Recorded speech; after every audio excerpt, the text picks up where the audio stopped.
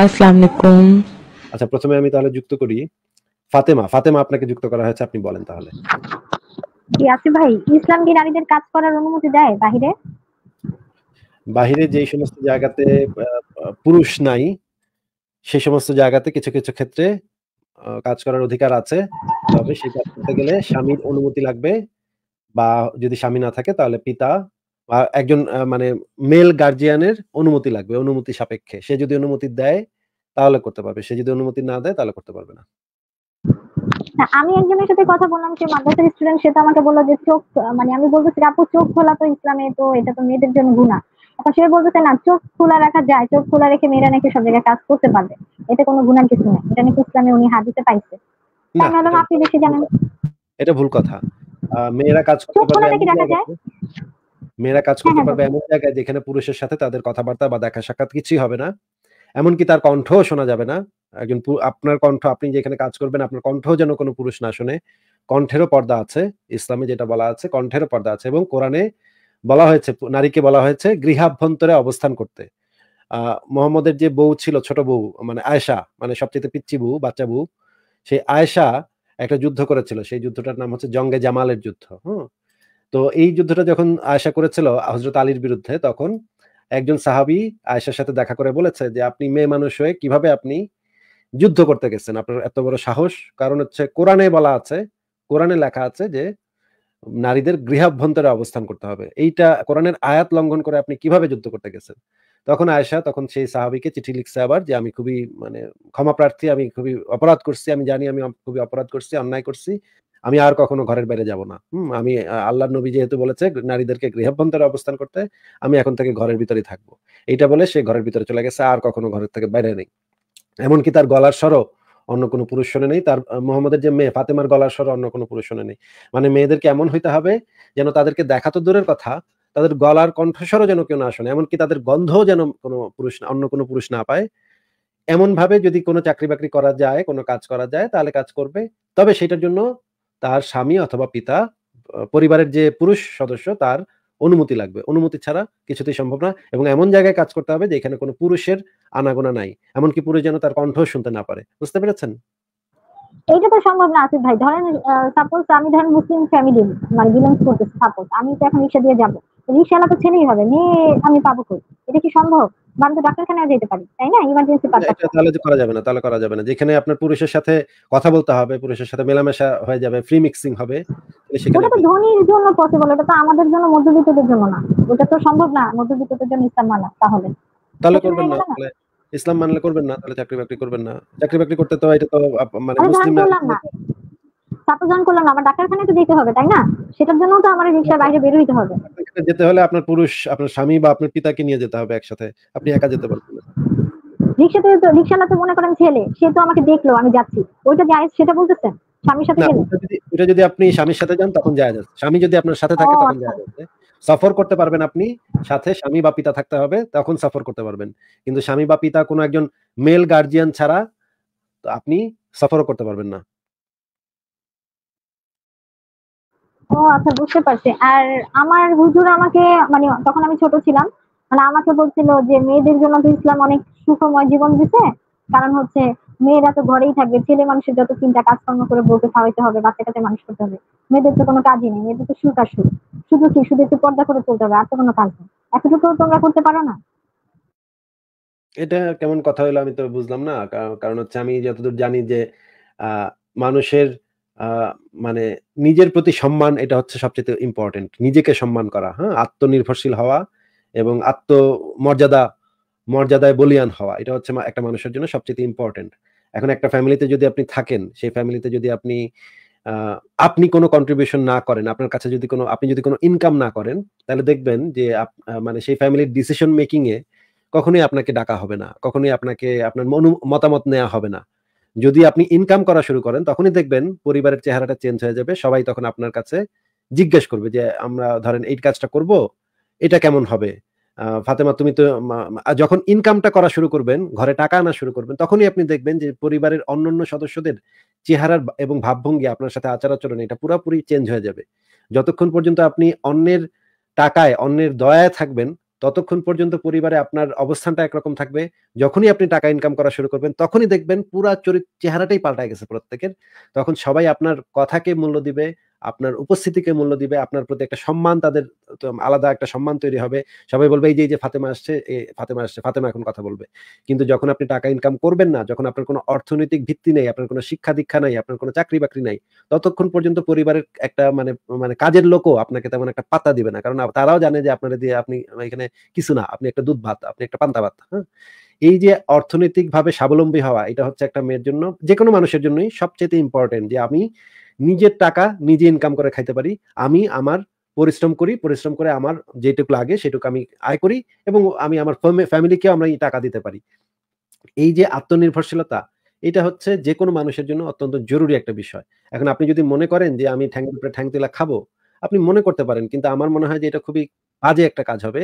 যেটা হচ্ছে আপনার আত্মমর্যাদা নষ্ট করবে। ফ্যামিলিতে আপনাকে একটা দাসীর পর্যায়ে নিয়ে যাবে যে আপনি তো করেন না। তাহলে আপনার সম্মানটা কোথায়? আপনার মানে কন্ট্রিবিউশনটা কোথায়? ফ্যামিলিতে আপনার কন্ট্রিবিউশনটা কই? যদি কন্ট্রিবিউশন না থাকে, আপনি যদি আপনি দেখেন ঘরে কিন্তু কাজ আপনার করতেই হবে। ঘরে থাকলে আপনার কাজ কিন্তু আপনার আলটিমেটলি করতেই হবে। ঘরে দেখেন আ রান্না-বান্না করা থেকে শুরু করে ঘর মোছা, এইটা সেটা, সেটা সেটা করা। কিন্তু এই কাজের জন্য আপনি কখনোই সেরকমের কোনো ইয়া পাবেন না, রিকগনিশন পাবেন না। যে আপনি যে ঘরের কাজগুলা করতেছেন সেই আমি আমার মাকে দেখেছি সে ভোর পাঁচটার সময় ঘুম থেকে উঠে নাস্তা বানানো শুরু করতো তারপরে এইটা করত, সেটা করতো সারাটা দিন রাত ১২টা ১টা পর্যন্ত কাজ করতে হইতো তার, হ্যাঁ? এমনকি কাজের মেয়ে থাকতো, কাজের মেয়ে থাকার পরেও তার এই রাত ১টা ১.৫টা পর্যন্ত কাজ করতে হইতো। তারপরে সেই দিন শেষে ক্লান্ত হয়ে সে রাতের বেলা ঘুমাইতে যেত। আবার তার পরদিন সকালবেলা এবং তার কোনো অসুখ-বিসুখ হইলেও সে একটা ছুটি নিতে পারতো না। এটা মানে যেকোনো একটা চাকরিতে দেখা যায় যে একদিন অসুখ হইলে মানুষ ২ দিন ছুটি নিতে পারে। বাৎসরিক একটা ছুটি আছে, হলিডে আছে, ঈদ আছে। ঈদে মানুষ চাকরিতে যায় না। কিন্তু যারা বাসায় কাজ করে তাদের কিন্তু কোনো ছুটি নাই। যারা হচ্ছে ঘর মানে গৃহিণী হিসেবে কাজ করে তাদের কিন্তু কোনো ছুটি নাই। কোনো জ্বর হইলে কোনো মানে ছুটি নাই। মানে একটা অমানবিক একটা জীবন তাদের যাপন করতে হয়। আপনাদেরকে এইভাবে মুখে, মুখে বলবে যে আমরা তো মানে ঠ্যাংয়ের উপরে ঠ্যাং তুলে প্রাণীর মতো হয়ে শুয়ে থাকবেন, খালি গড়াগড়ি খাবেন। এইটা বলে আসলে আসলে আপনাদেরকে একটা মিথ্যা ইয়া দেওয়া হয়। পরে ঘরে গেলে দেখা যায়, ঘরে গেলে আপনার কাজ অবশ্যই করতে হয়। অসম্ভব কাজ করতে হয়। আমার মায়েরই করতে হয়েছে আমার বোনদেরও অনেকের করতে হয়েছে এই পরিমাণ পরিশ্রম। কিন্তু এই কাজগুলা করার পরে আপনি কি পাচ্ছেন? এই কাজগুলা করার পরে কিন্তু আপনি কোনো মানে বেতন পাচ্ছেন না। বৎসরে যে একবার বোনাস দেয় সেই বোনাস পাচ্ছেন না। একবার যে মানে ঘুরতে যাইতে ঘুরতে যাওয়া লাগে মানুষের, হ্যাঁ? বছরে একবার একটু ঘুরতে-টুরতে যায় মানুষ, রিল্যাক্স করে একজন মানুষ সেইগুলা কোনো পাচ্ছেন না। মানে আপনি কাজ করতেছেন ঠিকই, আপনি পুরা পরিশ্রম দিচ্ছেন ঠিকই, নিজের মাথার ঘাম পায়ে ফেলতেছেন ঠিকই, সকাল থেকে সন্ধ্যা পর্যন্ত আপনি পরিশ্রম করতেছেন ঠিকই। কিন্তু আপনার কোনো ইনকাম নাই। আপনার টাকার জন্য আপনার স্বামীর কাছে হাত পাততে হচ্ছে। স্বামী একটু ভাব নিয়া বলবে, "এই, মাসে এত খরচ হইছে কেন? এই তোর এই মাসে কম খরচ করবি। এটা এটা কেনাকাটা কম করবি।" এগুলা, এগুলা মানে সবসময় আপনার একটা আতঙ্কে থাকতে হবে যে আমার এখন ৳৫০০ দরকার। আমি যে আমার স্বামীর কাছে চাবো, চাইতেও আপনার একটু মানে একটা মানে আত্মমর্যাদাশীল মানুষের অন্যের কাছে টাকা চাইতেও লজ্জা লাগে, হ্যাঁ? স্বামীর কাছে যখন আপনি টাকা চাবেন যে আমার এই টাকাটা লাগবে, আমি একটা লিপস্টিক কিনবো। মনে করেন আপনি একটা নেইল পালিশ কিনবেন। স্বামী দিবে কি দিবে না, স্বামী কি বলবে? এটার জন্য আপনার একটা মনের ভিতরে খচখচানি লাগবে যে এটা আমি কি চাবো, চাবো কেমনে? যদি না দেয়, যদি একটা অপমানজনক কথা বলে, "তুই তো তুমি তো ইনকাম করো না। তুমি কি বুঝো ইনকাম ইনকাম কি?" এটা যদি বলে, এটা বইলা যদি অপমান করে দেয়, এই যে এইভাবে সবসময় যদি আপনি মনে করেন যে ছোট হয়ে থাকা, সবসময় একটা ফ্যামিলিতে মাথা নিচু করে থাকতে হবে, ছোট হয়ে থাকতে হবে কারণ আপনি ইনকাম করেন না। কিন্তু আপনি কিন্তু কাজ ঠিকই করতেছেন। আপনার স্বামী কিন্তু যখন চাকরি করতেছে তখন কিন্তু সে ছুটি পাচ্ছে। অফিসে যাওয়ার সময় আপনি তাকে নাস্তা বানিয়ে দিচ্ছেন। সে নাস্তাটা খায়া খুব সুন্দর শার্ট-পাট পরে আপনি কিন্তু যে শার্টটা ধুয়ে রাখছেন, ইস্ত্রি করে রাখছেন সেটা পরে খুব খুব সুন্দর গেল গিয়া অফিসে। অফিস থেকে আইসা তারপরে জামাকাপড় খুইলা সে ঠ্যাংয়ের উপরে ঠ্যাং তুইলা টিভি দেখা শুরু করল, হ্যাঁ? এবং ছুটির দিনে সে সকালে উইঠা পেপার পড়া শুরু করল। "এই চা দিয়ে যাও। এই ফাতেমা চা দিয়ে যাও।" চা আপনি ধরো দৌড় দিয়ে চা দিয়ে চা নিয়ে আসলেন। এই যে, এই যে চা। এই যে মানে সে কিন্তু বাসায় আসছে। সে বাসায় এসে কিন্তু আর কোনো কাজ করতেছে না। কারণ সে অফিসে কাজ করছে। তার যুক্তিটা হচ্ছে আমি তো অফিসে কাজ করতেছি, আমি তো ইনকাম করতেছি। তাহলে আমি এত কাজ করব কেন? কিন্তু আপনি কিন্তু সারাটা দিন ঘরের ভিতরে কাজ করতেছেন। সে অফিসে যেই কাজটা করতেছে তার থেকে অনেক বেশি পরিশ্রমের কাজ আপনি ঘরে করতেছেন। কাপড় ধুইতেছেন, থালা-বাসন ধুইতেছেন, বা বাচ্চাদের দেখতেছেন, বাচ্চার কোন টিফিন লাগে বা বাচ্চার কি লাগে সেগুলা দেখতেছেন। সবকিছু দেখার পরে আপনার ফলাফলটা কি? আপনার আপনি কি পাইতেছেন? কোনো টাকা পাইতেছেন না। টাকার জন্য আপনার স্বামীর কাছে দ্বারস্থ হইতে হইতেছে। আপনার কাছে যদি মনে হয় এটা ভাই খুব রাজরানীর জীবন, এটা খুব ভালো জীবন, আমার খুব সুখের জীবন। তাইলে ভাই তাইলে আমার আসলে কিছু বলার নাই। আমি খালি আপনার জন্য আফসোস করব যে আপনি একটা আত্মসম্মানহীন জীবন বেছে নিছেন। আমাদের সাথে ফারাজ ভাই আছে। ফারাজ ভাই, আপনি কি এই বিষয়ে কিছু বলবেন?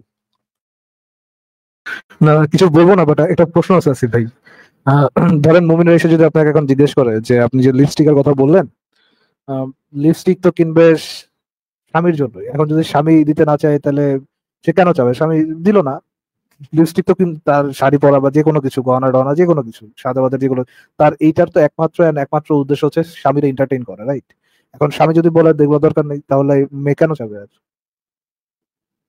তাহলে আপনি কি বলবেন আসিফ ভাই? এটাও ঠিক মুসলিম মেয়েদের তো আসলে এগুলো চাওয়া উচিত না। স্বামী যেটা দয়া করে দিবে সেটাই নেওয়া উচিত। কিন্তু আমি ভাবতেছিলাম যে যারা আত্মনির্ভরশীল না মানে আত্মমর্যাদা যাদের আছে তাদের তো মনে মনে ছোট ছোট সুখ থাকে ছোট ছোট আনন্দ থাকে। কারও মনে করেন গান গাইতে ইচ্ছা করে গান গাইতে ভালো লাগে কারও ছবি আঁকতে ইচ্ছা করে। মনে করেন একটা রং পেন্সিল আমার দরকার একটা মেয়ের একটা রং পেন্সিল দরকার বা একটা কারও কারও বই থেকে ভালো ভাই মানে হুরের সর্দানি হয়ে জানাতে বসে স্বামীর কাপড় ধোয়া, কাপড় মোছা, এটা কি আরও ভালো না? একটা লিপস্টিক দিয়ে কি হবে জীবনে? এর থেকে হুরের সর্দানি হওয়া ভালো না ভাই। হ্যাঁ হ্যাঁ সেটাই আমি বললাম যে কেউ যদি ওই জীবনটা বেছে নিতে চায়, তাহলে তো আমার কিছু বলার নেই। আমি তো তাকে জোর করে বলব না যে তোর এখন এটা চাকরি করতে হবে। যা আগে চাকরি করে, এটা তো আমি বলব না। কিন্তু সেই সমস্ত নারীদের জন্য আমার আফসোস হবে যে এরা এরকম একটা জীবন বেছে নিচ্ছে। মানে কীরকম একটা প্যাথেটিক জীবন বেছে নিচ্ছে। না আছে ভাই, এরকম জীবন আমি চাই না। মানে এরকম তো অনেকে বলে যে মানে ধরো তুমি চাইতেছো, চাকরি করতে, তোমার হাজবেন্ড চাইতেছে না হ্যাঁ? তখন তো সংসারে গন্ডগোল হবে বা মানে স্বামীর কথা শুনতে হবে। তো মানে আমার কথা হচ্ছে যদি আমি বিয়ের পরে জব করতে চাই মানে আমার হাজবেন্ড যদি না করে হ্যাঁ? সেটা তো আমি মানবো না, তখন তো গন্ডগোল হবে। এটা তো মানে ইসলামিক তো কোনো সমাধান তো আমি পাইলাম না। মানে ইসলামিক সমাধান হচ্ছে মানে স্বামী যা বলবে তাই শুনতে হবে। বিষয়টা এরকমই। হ্যাঁ ইসলামী সমাধান হচ্ছে, স্বামী যেহেতু আপনার কর্তৃত্ব করতেছে, স্বামী যেহেতু মালিক আপনি যেহেতু দাসীর মতো মানে ইসলামের দলিল পত্রে এইভাবেই লেখা আছে যে স্ত্রীরা হচ্ছে স্বামীর দাসীর মতো একদম সোজা কথা এইভাবেই বলা আছে। দাসীবান্দির মতো দাসীবান্দির মতো থাকবেন এবং তার পা, তার পদ সেবা করবেন, সে যেভাবে বলবে সেভাবে থাকবেন। এমনকি স্বামীর অমান্য করা হচ্ছে কুফুরি মানে হচ্ছে আল্লাহর অমান্য হওয়া যেরকম কুফুরি, স্বামীর অমান্য হওয়া সেরকম কুফুরি মানে কাছাকাছি কুফুরি। একদম সরাসরি কুফুরি না, কিন্তু কাছাকাছি কুফুরি। মানে হচ্ছে স্বামী, একজন স্ত্রীর জন্য স্বামী হচ্ছে প্রায় আল্লাহর কাছাকাছি একটা জিনিস হ্যাঁ আল্লাহর মতো একটা জিনিস। যাকে সবসময় মান্য করতে হবে। আহ, স্বামীর মানে স্বামীর সাথে ইয়া করাও কিন্তু বেয়াদবি এবং আল্লাহর পরে কাউকে সেই দেওয়া দেওয়ার যোগ্য হলে সেটা হলো সেটা স্বামী হইতো আর কি। হ্যাঁ হ্যাঁ, মেয়েরা কাজ যদি না করে আসিফ ভাই এতে ইসলামের কি লাভ? এটা তো একটা দেশ রাষ্ট্র তো ধ্বংস হয়ে যেতেছে না। মানে এতে নবী মানে এটা কি চিন্তা করে বানাইলো? মানে এটা লাভটা কোথায় হইল? এটা ইসলামে তো চাকরি বাকরি করা মেয়েদের দরকার নাই। ইসলামের মূলত রিকোয়ারমেন্ট হচ্ছে যে জেহাদি দরকার যোদ্ধা দরকার এবং বেশি বেশি জেহাদি পর্দা করার একটা এগ্রিমেন্টে থাকা নারী দরকার। চাকরি বাকরি করে ইসে স্বাবলম্বী হবে এরকম নারী তো ইসলামের দরকার নেই। ওটা তো নেসেসিটির মধ্যে পড়ে না। এবং ইসলামের আরও ইয়াটা হচ্ছে যে ইসলাম যেটা চায় যে মেয়েরা সবসময় অবনত থাকুক মানে তাদের তারা যদি অর্থনৈতিকভাবে স্বাবলম্বী হয় তখন একটা মেয়ের একটা মেয়ে মনে করেন চাকরি বাকরি করে অনেক বড় বড় ধরনের চাকরি করে। মনে করেন গ্রামীণ ফোনের সিইও হয়েছে একটা মেয়ে। এই মেয়েটা কিন্তু কখনোই আর মানে এই মেয়েটা কিন্তু চুজ করা শুরু করবে। তার লাইফ পার্টনার কে হবে, সে তখন নিজে সিদ্ধান্ত নিবে যে আমি কাকে পছন্দ করব, তার সাথে বিয়ে করব। তো এই জিনিসটা হচ্ছে একজন মুসলমান পুরুষের জন্য অত্যন্ত মানে বিপজ্জনক। মুসলমান পুরুষ চায় যেন সে চুজ করবে মেয়েদেরকে এবং মেয়েরা তার নিচের, নিচে থাকবে। সে যে তিনটা, চারটা বিয়ে করবে, সবগুলা তার ঘরের ভিতরে থাকবে, ঘরে মানে ইয়া করবে, ঘরের ভিতরে থেকে তার সেবা করবে। কিন্তু মেয়েরা যখনই অর্থনৈতিকভাবে স্বাবলম্বী হবে, তখন তো আর সেই পুরুষদের সেবা করবে না। তখন যদি দেখে যে ওই বেটা তার দাসীর দিকে তাকাইতেছে, দাসীর সাথে করতেছে বা আরেকটা বউ আনছে, তাহলে লাথি মেরা চলে যাবে, তাই না? যেরকম মানে খাদিজা যেরকম ছিল, খাদিজা দেখেন অর্থনৈতিকভাবে স্বাবলম্বী, একজন ব্যবসায়ী, নারী এই নারীর নারীর মানে জীবিত সময় মোহাম্মদ কিন্তু আর এদিক সেদিক করতে সাহস পায়নি হ্যাঁ? একটা সিধা হয়েছিল। যখনই ওই মহিলা মরছে, তখনই সে শুরু করে দিছে, একেবারে মানে যা ইচ্ছা তাই শুরু করে দিছে হ্যাঁ? লাগালাগি শুরু করে দিছে, চারদিকে গিয়া হ্যাঁ? এখন এই যে তার মানে হচ্ছে, ইসলাম কখনো চায় না মেয়েদের, মেয়েরা আত্মনির্ভরশীল হোক, আত্মমর্যাদাশীল হোক স্বাবলম্বী হোক, এই জিনিসগুলো ইসলাম চায় না। কারণ হচ্ছে তাহলে তো মেয়েদেরকে দমন করা যাবে না পায়ের নিচে রাখা যাবে না, চারটা পাঁচটা বিয়ে করা যাবে না, দাসী টাসি রাখা যাবে না। আর এগুলো না রাখা গেলে মানে পুরুষরা তো খুশি থাকবে না। পুরুষরা খুশি না থাকলে জিহাদ করব কে? আচ্ছা ভাই, আমাকে একজন বলছিল মানে আমি তো এখন জব টব করতে চাচ্ছি, আমাকে একজন বলতেছে, আমি যদি এরকম জব করে যদি ক্যারিয়ার বানাই, ভালো পজিশনে যাই, ভালো টাকা ইনকাম করি, তখন দেখা যাবে মানে ছেলে আর আমি যদি সমান সমান না হই বা সাপোজ যদি আমি যদি ছেলে থেকে বেশি ইনকাম করি তখন তো ছেলে পাওয়া মুশকিল বা ওই ছেলেটা আমাকে লোভে বিয়ে করবে, না হলে ছেলেটা অপমান বোধ করবে মানে আমাকে বিয়ে করার পর। তখন সবাই বলতেছে যে, আমার নাকি সংসারে সুখ আসবে না। এই জন্য কিন্তু এখন আমি চাকরিও করতেছি না মানে আমি যে কি করব আমি নিজেও বুঝতেছি না আসলে কি করা উচিত। তো আপনি এমন ছেলে খুঁজে বের করবেন যে এই রকমের মানে নিচু মন মানসিকতা না যার মন মানসিকতা একটু ভালো, এরকম মানুষকে খুঁজে বের করবেন? সেটা না, মানে আপনার কাছে আমি একটা লজিক্যাল বিষয় জানতে চাচ্ছি মানে বিষয়টা কি আসলে এরকম? সাপোজ আমি যদি টাকা পয়সা বেশি ইনকাম করে কিনি আমার হাজবেন্ডের যদি কম হয় মানে এরকম ছেলে বিয়ে করলে কি মানে আসলে ছেলেটা নিজেকে মানে কি বলে ছোট ফিল করবে? মানে এই কথাটা কি আসলে যৌক্তিক নাকি এটা এমনি মানুষ হিংসা করে বলছে? মানে যাতে আমি কিছু না করি? সবার জন্য সত্য তা না কিছু মানুষের জন্য হয়তো সত্য। সবার জন্য যে সত্য তা না আপনার একটু খুঁজতে হবে, দেখতে হবে কার মানে কার মিশে দেখতে হবে একটু। একজন মানুষের সাথে না মিশলে তো আপনি তার মন মানসিকতা সম্পর্কে মানে আইডিয়া পাবেন না। মিশবেন, তারপরে দেখবেন যে সেই ছেলেটা কেমন সেই সেই ছেলেটার সাথে কিছু সময় থাকবেন, কিছুটা সময় নিবেন। তারপরে যাচাই করে দেখবেন, তারপরে যদি আপনার মনে হয়, তারপরে আপনি তার সাথে একটা কমিটমেন্টে যেতে পারেন। কিন্তু মানে এই যে বাপে বা মাই না ধরাই দিছে একটা সেটার বিয়ে করে ফেললেন, এটা করতে গেলে তো আর কি ঝামেলা হবে? সে ছেলে কীরকম, সেটা তো আপনি আগে থেকে জানবেন না। তা ঠিক আছে বাট ইসলামের বিষয়ে যা বলতেছেন মানে ইসলাম নারীদেরকে একেবারেই সম্মান দিচ্ছে না। জিনিসগুলো আসলে আমার মানতেও কেমন জানি লাগতেছে। আর আমি আপনার সংসার রক্ষণ করতেছি, তারপরও মনে হচ্ছে সব মাথার উপর দিয়ে যাচ্ছে। বিশ্বাস করতে অনেক কষ্ট হইতেছে। তাহলে আমি বুঝি না, তাহলে মানুষ কেন মানে এত পর্দা করে কেন মানে জব করে? মানে তাহলে তো কোনো লাভ নাই হিসাবে, যতটুকু দেখতেছি। তারপরে চোখ দেখা চোখও তো দেখা যাবে না, তাই না? চোখ খোলা রেখে বাইরে যাওয়া যাবে কিন্তু এটার জন্য আবার যে যেগুলো বললাম সেগুলো আর কি কোনো মেলামেশা যেন না হয় কোনো পুলিশের সাথে মেলামেশা কথাবার্তা এগুলো যেন না হয়। ঠিক আছে ফাতেমা আপু আপনার সাথে তো অনেকক্ষণ কথা বললাম তাহলে আজকে বিদায় জানাই আপনাকে। ঠিক আছে। আচ্ছা ভালো থাকবেন আপনি আপনাকে আজকে বিদায় জানাচ্ছি।